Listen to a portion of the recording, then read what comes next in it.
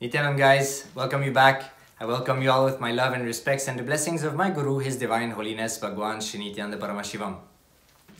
Today's video I want to share about will persistence. A simple click I had recently.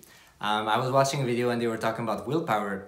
And I was contemplating on will and, uh, and, uh, cognizing what Swamiji has shared with us in various discourses, the various satsangs.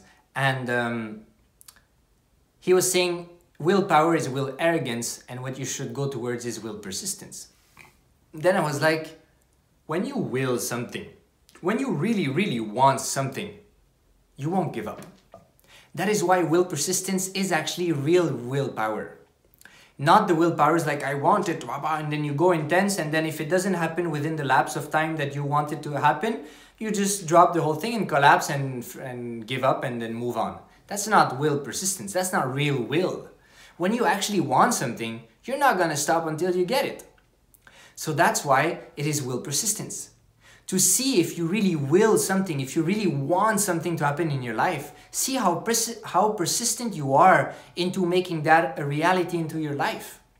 You know, we have to look in like, how much do I want it? And and look at the way how much lifetime and energy you invest into that. So that's a click that I had. And it is important to be, we, we are taught, especially in today's world, we are taught will arrogance. We see in the movies and all that stuff, you know, it's instant, you know, you want something, you get it now, and then if you don't get it, it was like, oh, I don't know, I can't do it, and then you get into this self-doubt, self-hatred, self-denial, uh, which is a very bad, it is the worst space you can get into. So, so no, it's all about the persistence. It's all about the persistence. And yeah, Sanatana Hindu Dharma. Sanatana means eternal. It is eternal because it is the pure consciousness. It is the science of pure consciousness. Hinduism is nothing but the science of pure consciousness.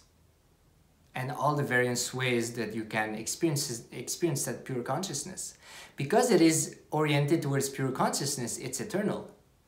If it's eternal, it means it is persisting. If it is persisting, that means it is will. It is the real will. So that's why even you go to the extent of power manifestation, it's just a test of your will persistence. It's just to see, do you want it or you don't want it?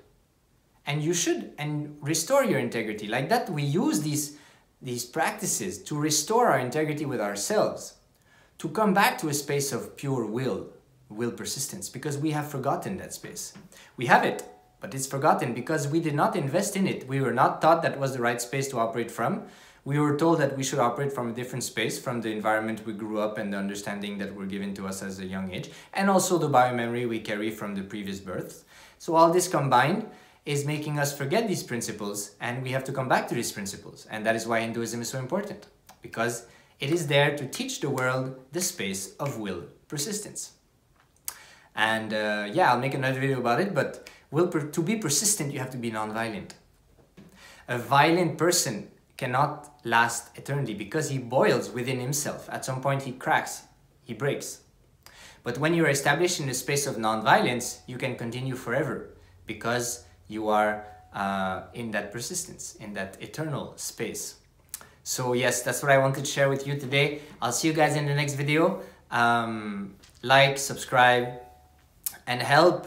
We have to stand for Hinduism. We have to help Hinduism revive. We have to Hindus have to be proud of Hinduism. Somehow, I, somehow it seems that the Hindus are not proud of Hinduism. Uh, English man, when they came to India, they kind of made Hindus look like fools. They made Hindus believe they were fools, and now it's that self-denial is too deep into the Hindu identity, and we have to complete that, and we have to come back and assert that amazingness that is Sanatana Hindu Dharma. So I'll see you guys in the next video. Nithyananda.